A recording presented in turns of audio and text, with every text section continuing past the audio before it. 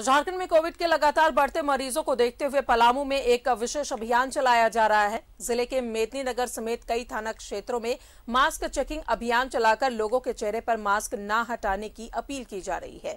वहीं मेदनी नगर के कई चौक चौराहों पर आने जाने वाले वाहनों पर मास्क चेकिंग को लेकर कड़ी नज़र रखी जा रही है। और यहाँ का जायजा लिया हमारे संवाददाता नीलकमल ने। एक बार फिर कोरोना के मरीज़ लगातार मिल रहे हैं। पलामू में भी जो प्रशासन है, वो अलर्ट मोड में है।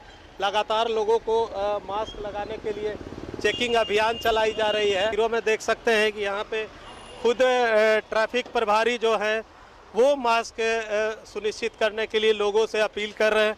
और लगातार एसपी चंदन सिन्हा के निर्देश के बाद पुलिस जो है अलग अलग चौक चौराहे पर अभियान चलाकर और लोगों को बता रहे हैं कि वो घरों से मास्क लगाकर निकले।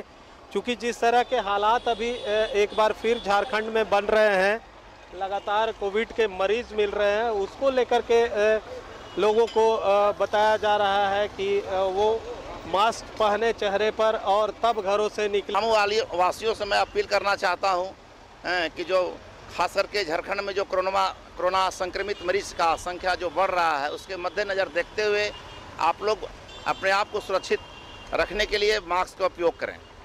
तो देख सकते हैं कि पुलिस के जो पदाधिकारी हैं वो लगातार लोगों से अपील भी कर रहे हैं और सुनिश्चित कराने की कोशिश कर रहे हैं कि लोग चेहरे पे कम से कम घरों से निकले तो चेहरे पे मास्क लगा कर निकले। हम भी न्यूज़ इलेवन के माध्यम से लोगों से अपील करेंगे कि वो आ, आज भी लोग घरों से निकले तो मास्क लगाकर निकले। तो सावधानी बरतना बेहद ही ज़रूरी है।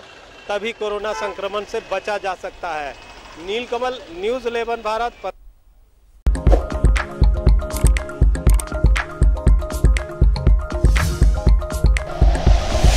like and share videos, subscribe करें हमारा चैनल और प्रेस करें bell icon news eleven Bharat. सच है तो दिखेगा।